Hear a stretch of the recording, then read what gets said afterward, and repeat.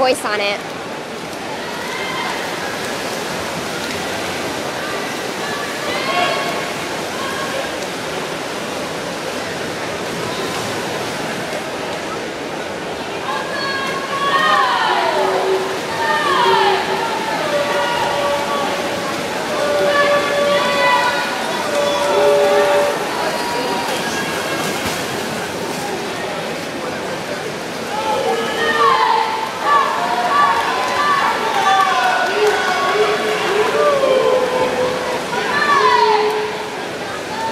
So, ladies and gentlemen, the champion